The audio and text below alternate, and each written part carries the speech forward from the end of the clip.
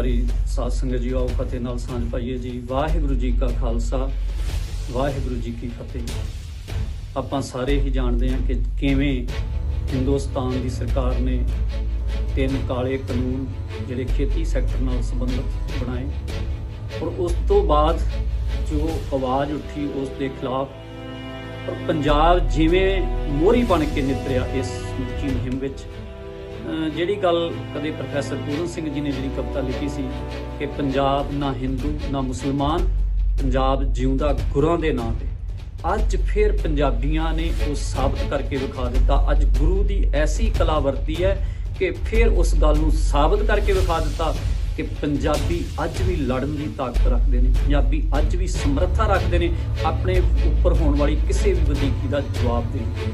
ਪੰਜਾਬੀ ਅੱਜ ਵੀ ਗੁਰੂ ਗੋਬਿੰਦ ਸਿੰਘ ਜੀ ਮਹਾਰਾਜ ਦੇ ਉਸ ਬਚਨ ਨੂੰ ਕਿ ਅਗਰ ਜ਼ੁਲਮ ਕਰਨਾ ਪਾਪ ਹੈ, ਤੇ ਜ਼ੁਲਮ ਸਹਿਣਾ ਵੀ ਪਾਪ ਹੈ, ਪੰਜਾਬੀਆਂ ਨੇ ਇਸ ਗੱਲ ਨੂੰ ਸਾਬਤ ਕਰਕੇ ਰੱਖਿਆ ਸੋ ਗੁਰੂ ਸਵਾਰੀ ਸਾਧ ਸੰਗਤ ਜੀਓ, ਜਿਵੇਂ ਆਪ ਸਮੁੱਚੇ ਪੰਜਾਬੀਆਂ ਨੇ ਦਿੱਲੀ ਵਹੀਰਾਂ ਤੱਕੀਆਂ, ਇੱਕ ਵਾਰੀ ਮੇਰੇ ਕੋਲ ਸ਼ਬਦ ਨਹੀਂ ਹੈ ਤੁਹਾਡੀ ਤਾਰੀਫ ਕਰਨ ਵਾਸਤੇ ਇੱਥੇ ਵਿਦੇਸ਼ ਦੀ ਧਰਤੀ ਤੇ ਆਪਾਂ ਬੇਸ਼ੱਕ ਬੈਠੇ ਆ ਪਰ ਰਾਤ ਦਿਨ ਸਾਡੀਆਂ ਨਜ਼ਰਾਂ ਸਿਰਫ ਤੇ ਸਿਰਫ ਪੰਜਾਬ ਤੇ ਦਿੱਲੀ ਤੇ ਲੱਗੀਆਂ ਹੋਈਆਂ। ਪਿਛਲੇ ਦਿਨੀ ਕਿਵੇਂ ਕੈਲੀਫੋਰਨੀਆ ਵਿੱਚ ਇੱਕ ਲਾ ਮਿਸਾਲ ਇਕੱਠ ਹੋਇਆ, ਪੰਜਾਬੀਆਂ ਨੇ ਕੀਤਾ ਇੱਕ ਵੱਡੀ ਰੈਲੀ ਕੱਢੀ ਕੈਨੇਡਾ ਦੇ ਬ੍ਰਿਟਿਸ਼ ਕੋਲੰਬੀਆ ਵਿੱਚ ਕਿਵੇਂ ਇੱਕ ਵੱਡੀ ਰੈਲੀ ਦਾ ਆਯੋਜਨ ਕੀਤਾ ਗਿਆ।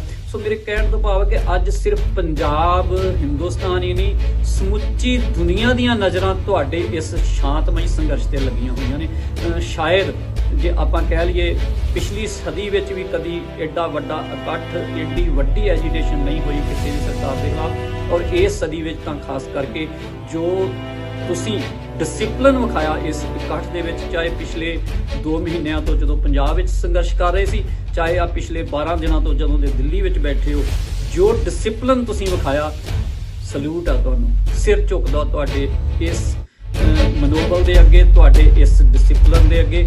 ਇੱਕ ਛੋਟੇ ਬੱਚੇ ਤੋਂ ਲੈ ਕੇ ਬਜ਼ੁਰਗ, ਵੀਰ, ਭੈਣਾਂ, ਔਰਤਾਂ ਤੇ ਸਾਡੇ ਕਲਾਕਾਰ ਜਿਹੜੇ ਪੰਜਾਬ ਦੇ, ਜਿਨ੍ਹਾਂ ਨੂੰ ਅਸੀਂ ਬੜੀ ਕਦੀ ਅਹ, ਦੀ ਨਜ਼ਰ ਨਾਲ ਸਾਡੇ ਇੰਟੈਲੈਕਚੁਅਲ ਲੋਕ ਵੇਖਣ ਲੱਗ ਪਏ ਸਨ ਕਿ ਇਹਨਾਂ ਨੇ ਪੰਜਾਬ ਦਾ ਮਾਹੌਲ ਖਰਾਬ ਕੀਤਾ ਪਰ ਸਾਰਿਆਂ ਨੇ ਦੱਸ ਦਿੱਤਾ ਕਿ ਬੇਸ਼ੱਕ ਕਦੀ ਅਸੀਂ ਕਦੇ ਕਦੇ ਰਸਤੇ ਤੋਂ ਭਟਕ ਜਾਂਦੇ ਆ ਪਰ ਸਾਡਾ ਟਰੈਕ ਇੱਕ ਸਾਡੀ ਲਾਈਨ ਇੱਕ ਆ ਅਸੀਂ ਸਾਰੇ ਗੁਰੂ ਗੋਬਿੰਦ ਸਿੰਘ ਜੀ ਦੇ ਪੁੱਤਰ ਤੇ ਹੋਏ ਅਸੀਂ ਉਸ ਧਰਤੀ ਨਾਲ ਸੰਬੰਧ ਰੱਖਦੇ ਹਾਂ ਜਿੱਥੇ ਖਾਲਸਾ ਸਾਜਿਆ ਗਿਆ ਸੀ Subscribe to my channel.